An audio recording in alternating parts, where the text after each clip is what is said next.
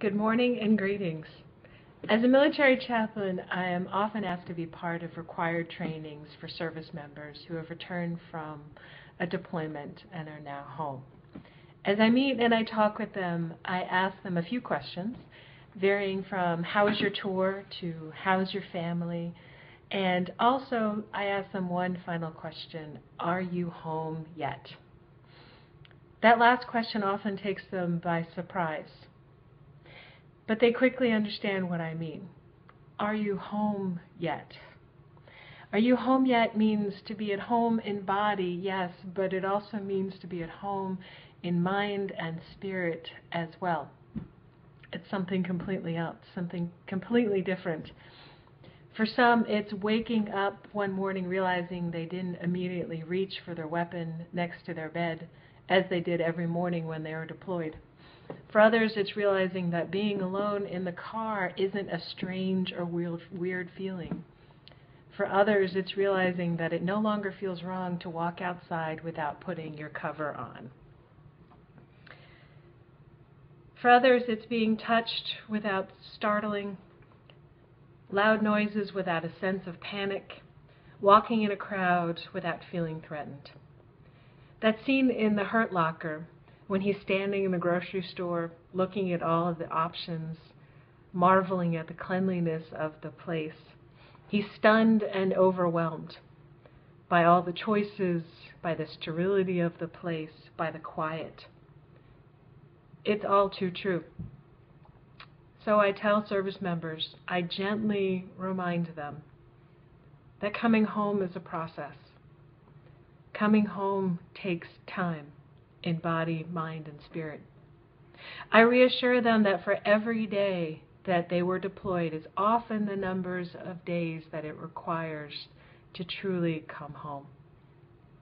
The Army pushed a great training a few years ago called Battle Mind, with each letter referring to a different military skill. These skills are such as accountability, targeted aggression, tactical awareness, being lethally armed, etc. They all translate directly to survival, the very survival of themselves, their team, their mission, when deployed for many service members.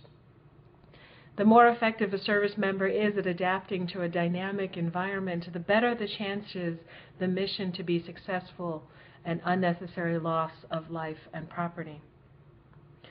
In coming home, we ask our service members, our warriors, we ask them to put aside these skills that have become hardwired into the very nerves of their existence, into their reflexes and their thought patterns.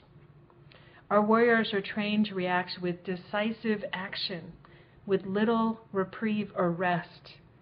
And this often challenges service members when they come home and have to adapt to civilian life. Accountability and personnel accountability translates to becoming too controlling at home. Targeted aggression becomes unnecessarily violence. Targeted aggression becomes unnecessary violence towards innocent friends and family members. Tactical awareness becomes hypervigilance. Lethally armed downrange becomes remaining locked and loaded or always armed even at home or in the car. It takes time for these survival skills to be replaced with the assurance that home is a safe place. For some, this can take weeks or months, for others, years. With this in mind, I often get the question, Why do you serve? It's a great question and a completely understandable one. I am a lifelong UU. I hold progressive and liberal values. I am a female in a male dominated chaplain corps, and I am a person of color. The question that comes back to me in response over and over again in my mind is this If not me, then who? If not me, then who? I take it as my responsibility and privilege to advocate for and to serve soldiers this calling, this calling to serve and to bind up the wounds of the wounded in body, mind, and spirit. This calling is seared on my heart. Many UUs that have served may feel similarly. We choose to raise our hand and to serve our communities, regardless of the struggles and hardships, regardless of the sacrifices. Bishop Desmond Tutu wrote, Do your little bit of good where you are. It's those bits of good put together that overwhelm the world.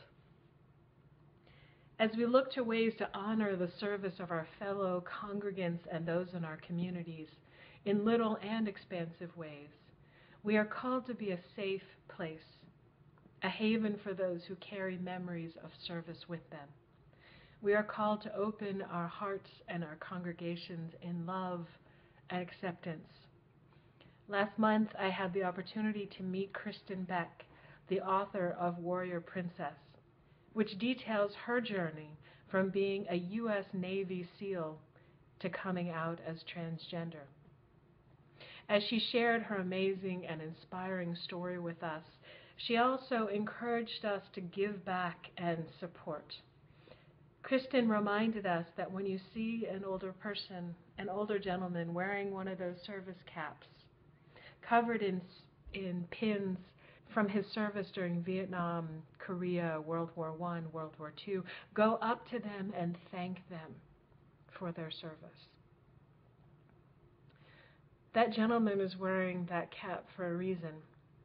They're most likely proud of their service and sacrifice as a nation, we are responsible to demonstrate with love and compassion our utmost gratitude. May I offer my thanks to our service members out there and their families that also serve. Happy Veterans Day. Know this day that you are loved and appreciated. Know that the seeds of peace are planted in our hearts and congregations. May there be peace on earth, and may it begin with us.